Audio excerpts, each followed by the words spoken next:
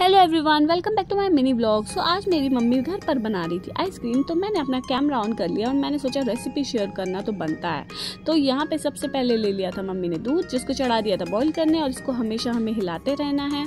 और दूध को इतना बॉईल करना है कि आधा हो जाए वो। तो दो ढाई लीटर के करीब हमने ये दूध लिया था और इसको हम लोग ने अच्छे से बॉईल कर लिया था। साइड में अब हमें एक काम करके रख लेना है।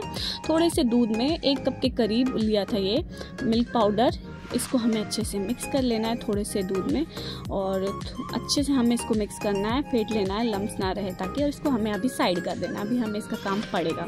थोड़ा सा और दूध मिला लिया था इसमें हमने। तो फिर हमें ले लेनी है चीनी और अब हम जो उबाल रहे थे दूध, उसमें हमें पूरी ये चीनी डाल देनी है। वन कटोरी मैंने ली थी।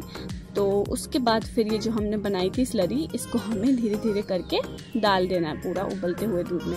उसके बाद आप चाहो तो जो भी आप मनपसंद अपने ड्राई फ्रूट्स डाल सकते हो। यहाँ पे काजू ले लिए थे मैंने और थोड़े बहुत ड्राई फ्रूट्स इसमें डाल दिए थे।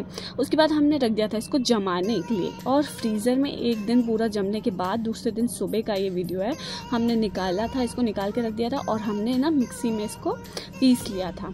उसमें थोड़ा सा और हमने फिर मिला दी थी। ये घर की मलाई है, घर की क्रीम है, वो मिलाई थी, आप बाहर की भी यूज़ कर सकते हो और देखिए कितना स्मूथ टेक्सचर हो गया इसका।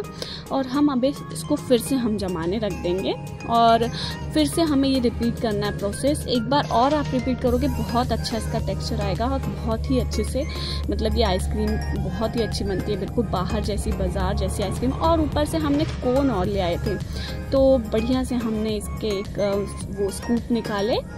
और हमने एंजॉय की हमारी होम मेड डिलीशियस आइसक्रीम और बहुत ही यमी बनी थी, एकदम सिंपल एंड इजी रेसिपी है। और आप लोग ट्राई ज़रूर करना। Bye bye